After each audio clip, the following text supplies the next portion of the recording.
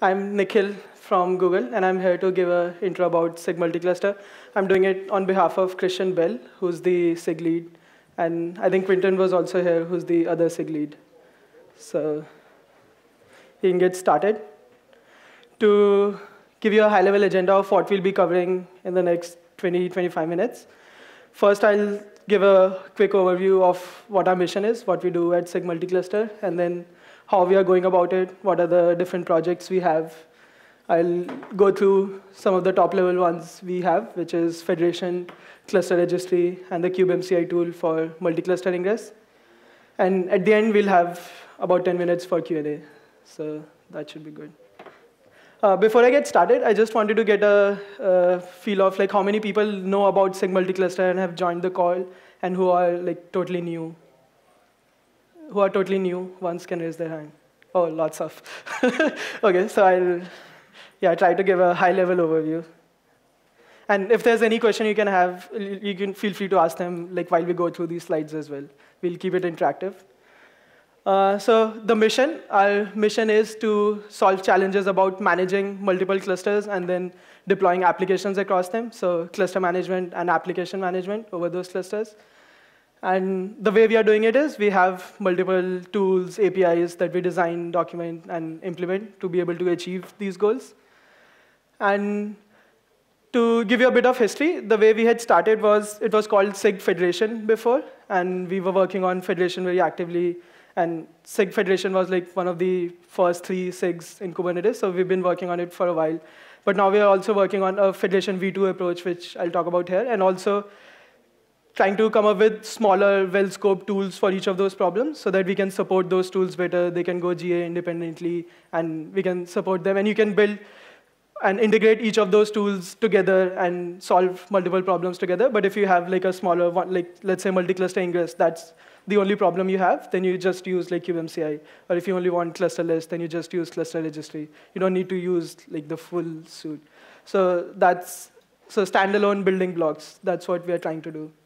And we have our mission and more details, which you can look on the community GitHub repo.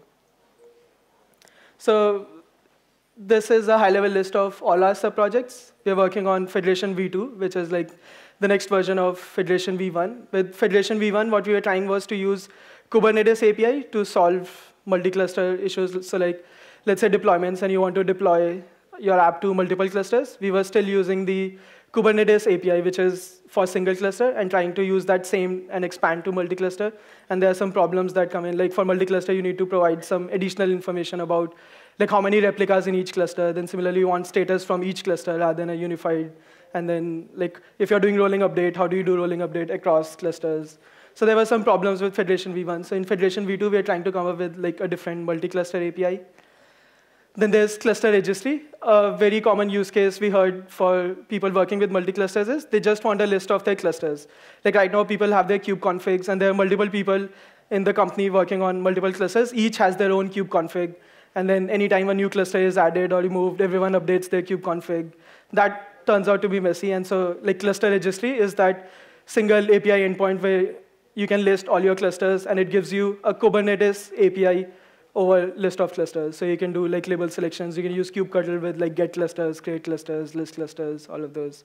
So like that was a major use case. So we decided like cluster registry is a well-scoped project that does just the cluster list.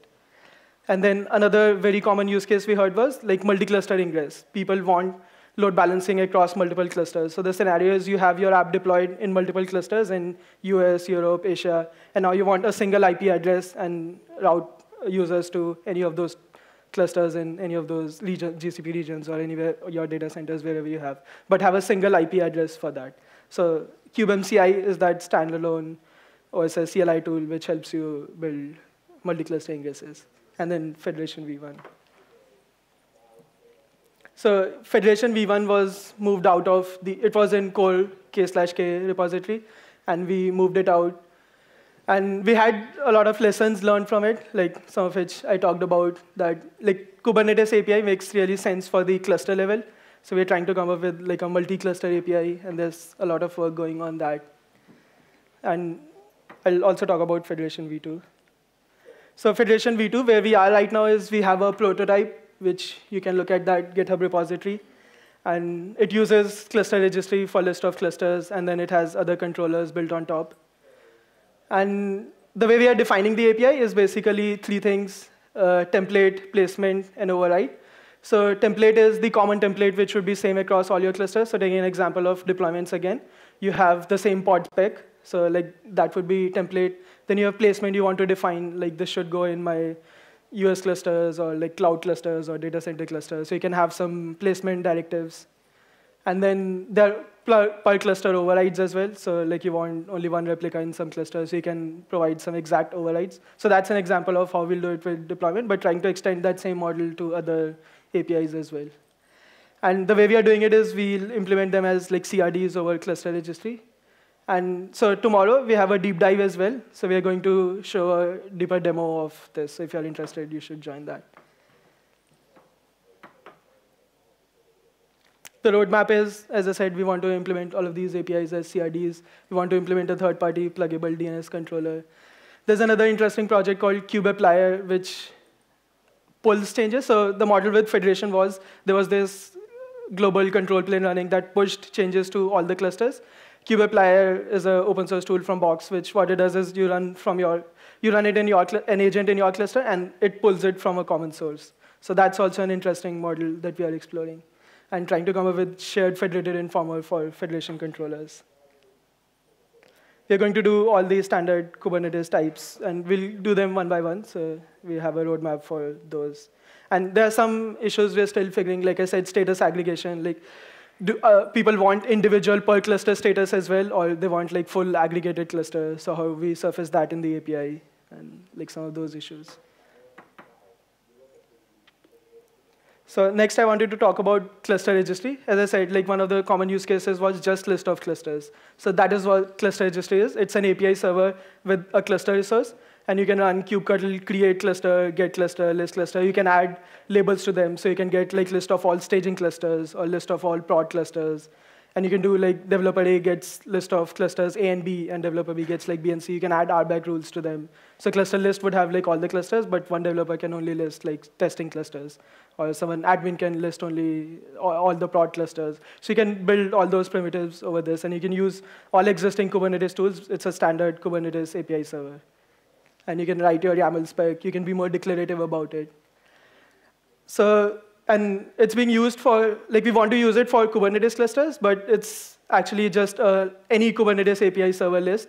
And like Istio is using it for Istio service mesh as well, for multi-cluster service mesh. If you want to keep a list of multiple clusters. The API is alpha right now, and we are planning to move it to beta. The only blocking thing we have right now is whether the cluster list should be namespace, and there's some discussion happening around it in the SIG. But we should, we hope to resolve it soon, and so API should be beta soon enough. So we want to have more users use it, try it out, build tools over it. And like the aim is that it's very simple to use. It's just a cluster list. You can integrate it with your CI/CD pipeline or any other tool you want, which wants a list of clusters. So like very scoped tool this is how the cluster spec looks like. So this is the GitHub repository where it is. You can go take a look, file issues, try it out. And this is the general cluster kind.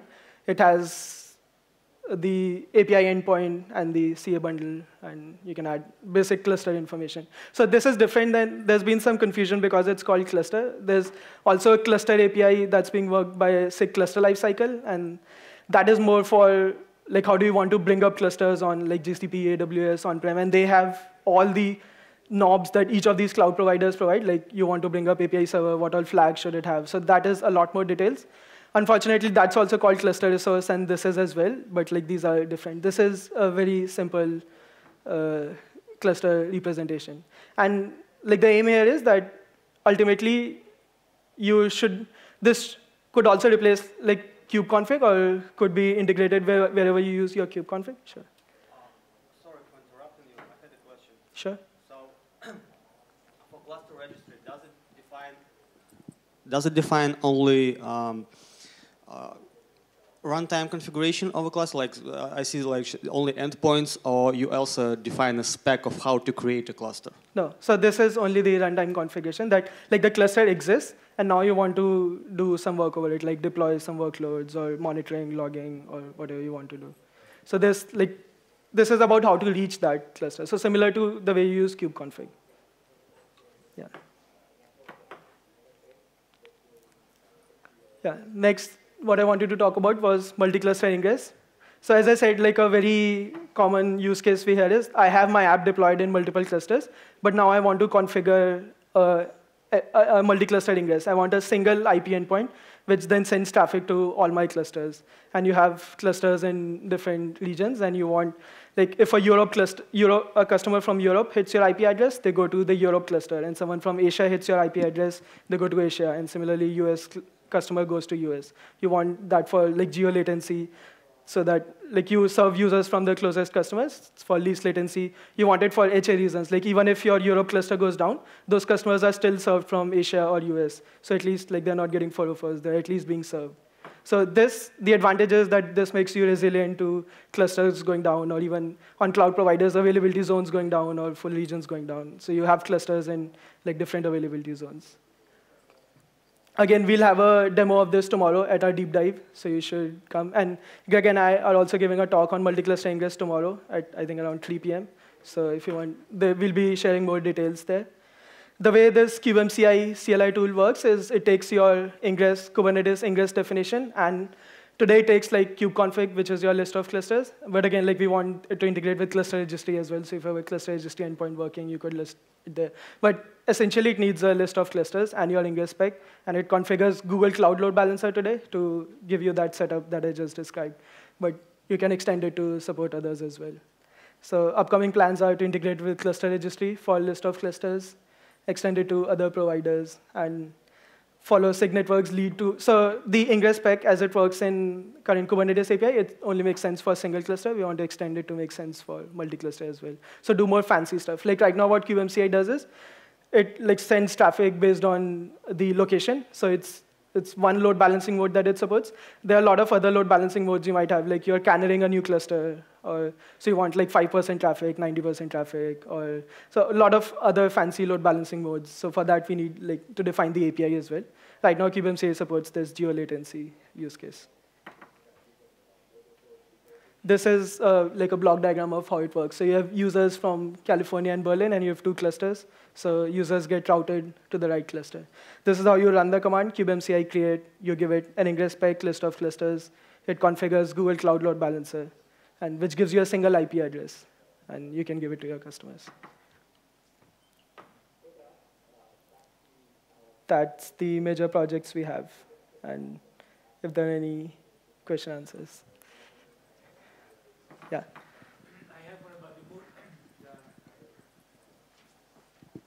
Uh, so just I'd like to understand more the multi-cluster ingress use case. Mhm. Uh, I see that your implementation has the Google Cloud Load Balancer in, in it. Yeah. Um, without that, would any DNS uh, feature allow us to achieve similar? Yeah, so the advantage with Google Cloud Balancer, Load Balancer is that it has the Anycast IP, and like with Google's wide network presence, you can do that. It's possible to do it with the other DNS servers as well, and yeah, you can if it like, like supports this that like users from Asia are routed to Asia and users from Europe are routed to Europe correctly. So then you can extend kubemci tool to support those other providers as well. Yeah. Hey. So this cloud registry API that you mentioned before, where does it reside? I mean, where does it live? So it's on open source GitHub repository, Kubernetes slash cluster registry. The API itself, so I mean the, the service itself. So if I have several clusters, so do I select a cluster that I want to deploy it into, or it's just replicated across clusters? So how does this work? Yeah, great question. So this is a different API server that you have where you install your cluster list, and then you run it on an existing Kubernetes cluster, one of those that you already have, or you can have a different Kubernetes cluster where you run this a host cluster, especially for cluster registry. Yeah, and you can install like other CRDs, like I said. Kind of extend that question. Is around having a separate control plane for multi-cluster, or that would be kind of federated control plane? You mean uh, like in Federation V2 approach or like generally or Uh, in, in that case, like, do do you think control plane is separate from the from the current uh, Kubernetes control plane, but sitting above of that? yeah. So one of the use case for like this multi-cluster control plane is to be able to run on mul multiple clusters, do operations, and be resilient to each of those clusters going down. So yes, like the uh, you need higher availability for this rather than like each of those individual clusters. If you run it in any one of those clusters, then that becomes your like master critical cluster. That if it goes down, you can't do any multi-cluster operations. Yeah. Yeah. And actually, other people working on multi-cluster can come up as well, and as there are more questions. Yeah. Ian come up as well, Greg and Irfan. So um, uh, I think what you uh, uh, questioned was that where exactly, it's same as cluster registry also, and same for uh, FCP control plane, that where exactly uh, does that run? So uh, currently, so initially uh, the way it ran, ran was that uh, we had to have a dedicated base cluster in Federation V1, and that was it. So as Nikhil mentioned, that uh, that becomes your point of failure also. So now what we are trying to extend or what we are building is that uh, there could be different configurations it can run with. It can run as an aggregated API, or it can run as uh, all, same. It's same with all the Federation V2 also now, Federation V1 and cluster registry also that we can run it uh, based on configurations. It can be run as ag- aggregated, or it can be uh, FCP as an older mechanism, or uh, it could be uh, CRD installed server. So next work is based on that CRD related work. So the Federation V1 only supported certain Kubernetes um, object types, uh, but you mentioned that you plan to support uh, every Kubernetes type in Federation V2. So I'm really curious how you imagine that's that's going to work because, Yeah. of course, some resource types don't make a lot of sense in a, in a federated Yeah. uh, context. Yeah, and like that was a problem we had in Federation V. We were always playing catch up to like Kubernetes is moving so fast. So yeah, I'll let Irfan, who's working on Federation V2. Yeah.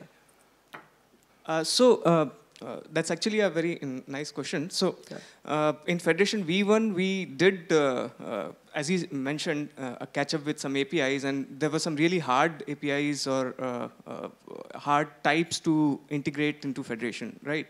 So currently in V2, our approach is that we have, uh, for all APIs, as you mentioned, we have some basic uh, sync mechanism which can sort of replicate, uh, for example, if you're creating a, a, a secret, it could be just replicated in all uh, clusters. And that sync mechanism is a single sync mechanism. You just have to install a, a API type or an adapter to it.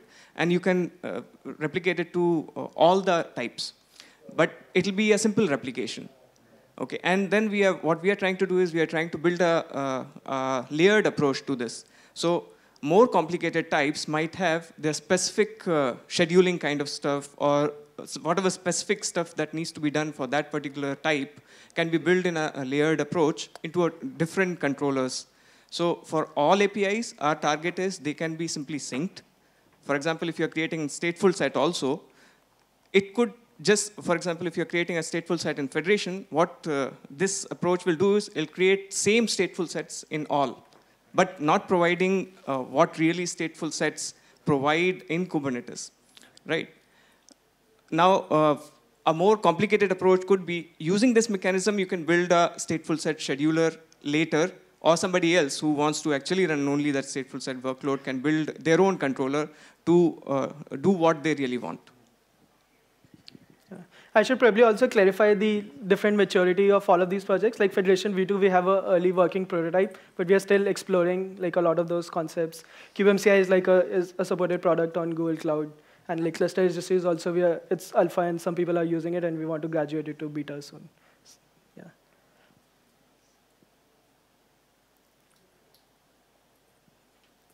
Sure.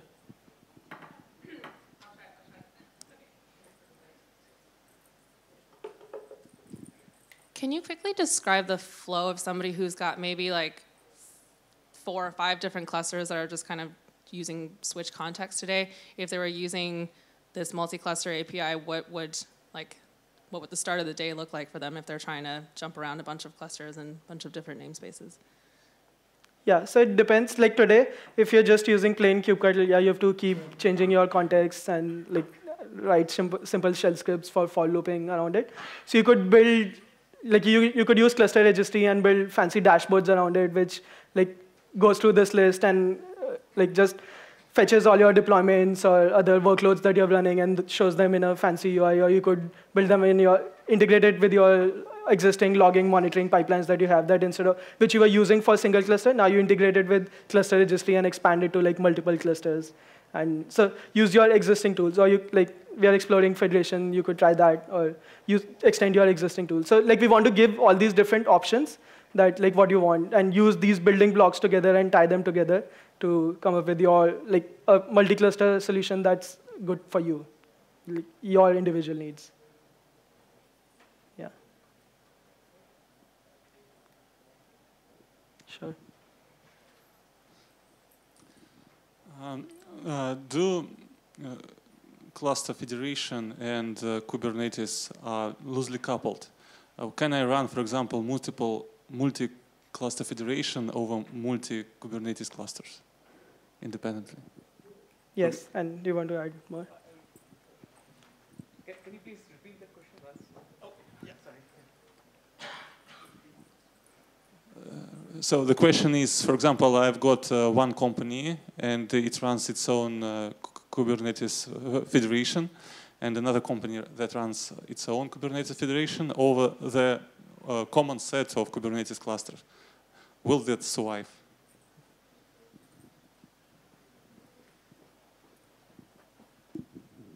Yeah, so uh, if I uh, understood the question correctly, is uh, what you are saying is that a same cluster can can a same cluster be part of multiple federations, right? So, yeah, the concept of federation is that uh, federation is actually an user uh, a user of Kubernetes. So the control plane uh, basically acts as currently, for example, admin user for for each cluster, and once you have joined a cluster to a particular federation, this FCP, the control plane, has the uh, user rights to do what it can do with the, uh, those clusters, create workspaces or uh, create uh, uh, workloads or uh, that kind of stuff. So multiple federations, multiple clusters could be part of multiple federations used by different users. Yeah.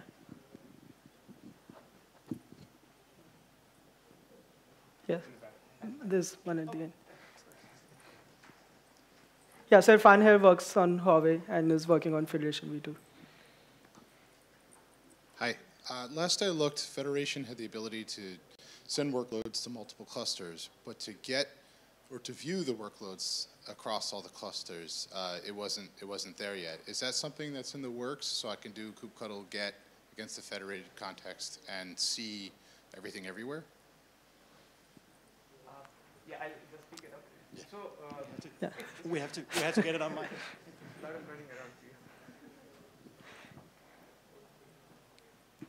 So I, think Nikhil mentioned this earlier that uh, uh, we are trying to, uh, and uh, uh, this gentleman asked, uh, what about the plans of integrating all the APIs?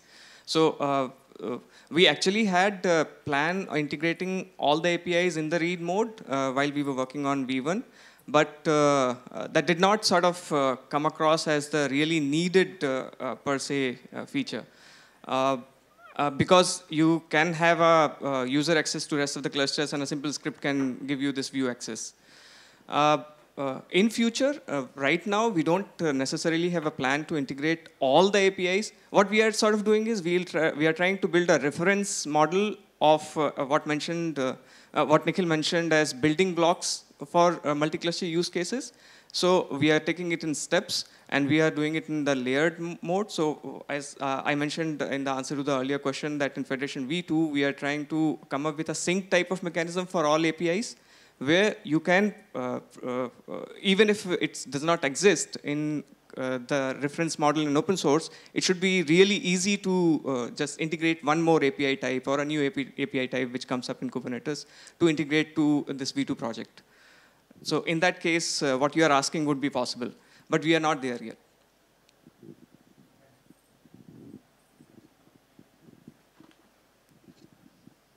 Yeah, sure.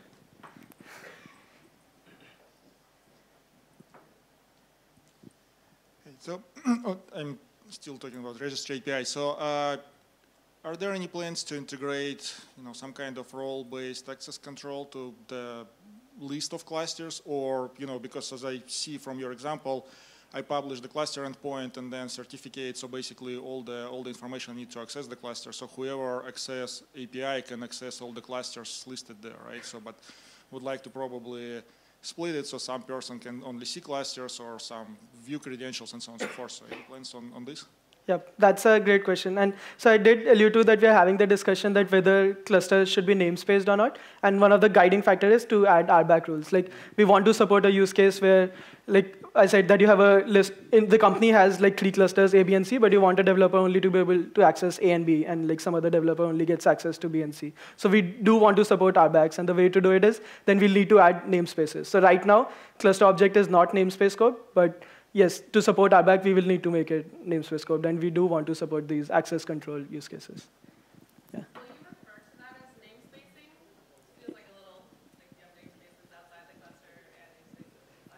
Yes, that's exactly. So that is why we are having this discussion that it does get confusing if like a cluster is in a namespace foo, like what, and what does that mean? Like is that foo exist in all clusters? And like is that some special foo? Like if you have a sync controller, like would it sync in all?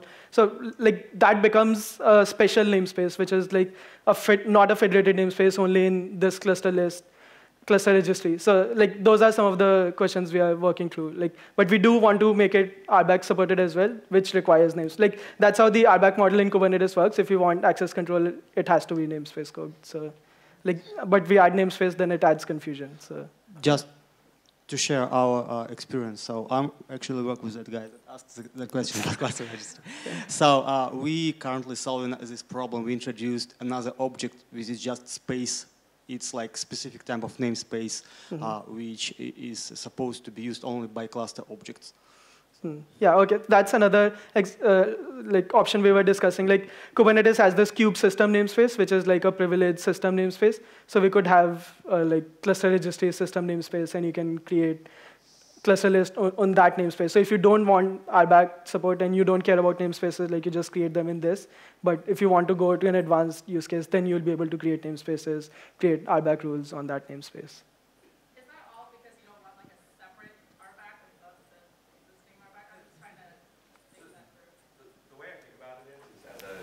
Kubernetes API server, there's a concept of namespace, which is to allow you to segment objects within a Kubernetes API server the cluster registry is implemented a Kubernetes API server, right? Yes. So because of that, it has the concept of a namespace, which is really just a way to separate objects within that Kubernetes API server. The problem is it's called namespace.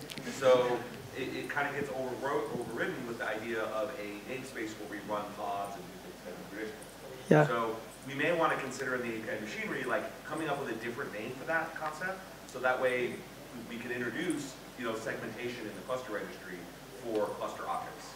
Yeah, yes, exactly. So today, like that's the only concept that the Kubernetes API machinery has. Namespace is the only machinery, only thing we have available to do this segmentation and to be able to create RBAC rules. So like we are tied to that. It does add some confusion, but that's the only thing we have right now. A great solution would be to introduce another concept that allows us to do this without namespaces. As you mentioned, space. Yeah. Yeah. yeah, we could define our own custom resource to do that. Yeah. Yeah, but to answer, like that use case is important. Yes, like that's a very common use case we have. You might want to mention that the uh, related, related to that, I wanted to mention that the credentials to access the cluster are not stored in cluster registry. So if the user can see the cluster, that doesn't mean that they have uh, access to a cluster necessarily. That needs to be handled outside cluster registry. Yeah, so what we're doing is that cluster registry would give you a pointer to a credential store. And like if you know that it's a GKE cluster, then you can run gcloud uh, container get credentials. So like it would point you to the right direction to get credentials. It might not have all the credentials itself. Like cluster registry won't store all, all the information. It will make it possible for you to do it.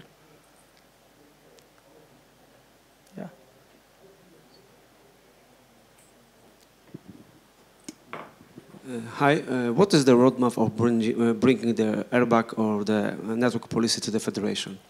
Uh, where, you, where gonna the state of object gonna be uh, production ready?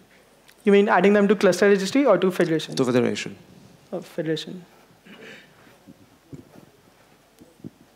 Yep. So um, what you mentioned is actually uh, one of the difficult to solve problems. So um, uh, we are not considering adding RBAC uh, to federation as a type, like other types, which would mean that uh, we have uh, RBAC support in federation for clusters, right?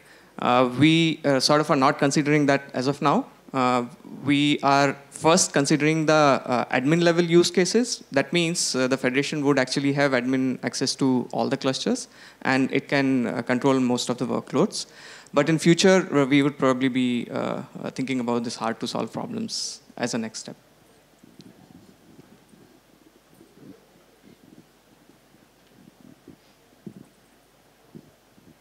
Yeah.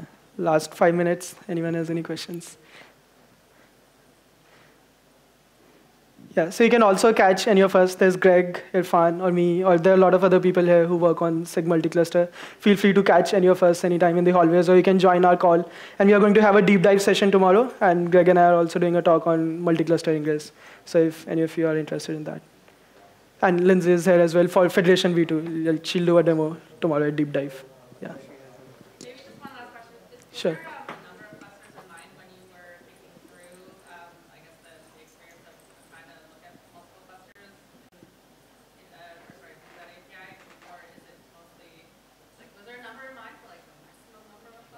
Yeah, so just to repeat the question, the question is that uh, was the number in mind for number of clusters we want to support for multi-cluster operations? So we've seen like very wide scale. People have like three, five clusters as well, and people have like hundreds of clusters as well. So like, and it also depends on what tool, the scalability depends on what tool you're using. If you're using like cluster registry, it's a Kubernetes API server with just cluster list, that can stay, scale a lot more and depends and if you're using some other controllers over it so like what those controllers do can limit your scalability as well. So we don't have a set, like any scalability test that this is what we support and like this is what we want to support. We also want to grow with the community. Like right now we see a lot of people are like early in the journey. They started with one cluster and now they're moving to like multiple clusters. There were a few going on. They would have a lot more. So we would scale as the community grows as well. Yeah. Yeah, and in code, uh, there is no uh, limit actually put as of now. So uh, it depends on uh, your use case. You might as, as well have 100 clusters or 1,000 clusters in that case. Yeah, yes, yep. Yeah, I was, I was just going to interject there. So when we when we conceived, this is, I presume, in the context of federation. Sorry, I'm double booked with next door, so I'm trying to multitask. Um, we we sort of had in our mind this idea of of in the order of 100 clusters would be a, a sort of common use case at the top end. Um, and I think the architecture and the design is, is well suited to those kinds of numbers of clusters. We have come across cases more recently where uh, there are pretty sound arguments for, you know, two orders of magnitude more. Some may have been at CERN the CERN keynote this morning, they have a thousand clusters. Uh, we have uh, retailers who have, or banks that have, you know, tens of thousands of outlets, and they wanting to federate these things, treat airport as a cluster, treat each retail Walmart as a cluster, and they have more than 100 of those, I can, I can promise you. Um, so, you know, I think over time we will uh, figure out how to do that. There, there are different approaches. You can actually federate federations, so you can have hierarchical federations of clusters. These things are all possible. Um, uh, and or we can, you know, re-architect parts of the internals. But I think the APIs are sound for much larger federations than, than 100. I, I don't think there's anything about the APIs that, that limit us to 100 as opposed to 10,000 clusters. Yeah, and I, I think uh, we'd introduce him. I, uh, he doesn't need an introduction. Uh, introduction. He's uh, our SIG lead, Quinton. Quinton. Yeah.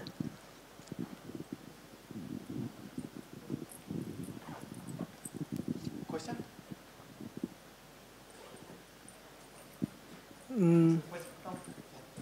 Okay. Going once, going twice. yeah. Gone. Okay. Thanks a lot, everyone.